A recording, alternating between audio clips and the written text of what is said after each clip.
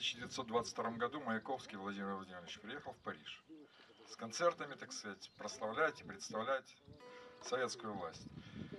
Выступал перед иммигрантами. Влюбляется неожиданно для самого себя белую иммигрантку э, Татьяну господи, забыл, вылетела фамилия. Да. Яковлеву, Татьяну Яковлеву, да.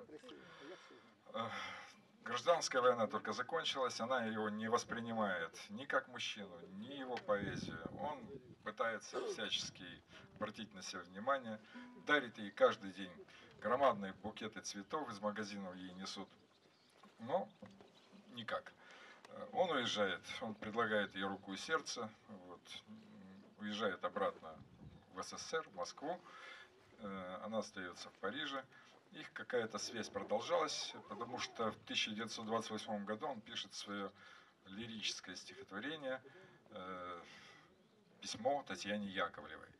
Э, и, тем не менее, в 30 году он погибает, а цветы несут. Несут все эти годы по букету цветов, там, с какой-то периодичностью. Вот. 30-е годы цветы несут. 40-е годы Париж под э, немцами.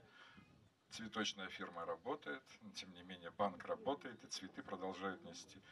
И представьте себе, она умерла в 70-е годы, до самой ее смерти несли и несли эти цветы, эти букеты с одной единственной фразой от посыльного «От Маяковского».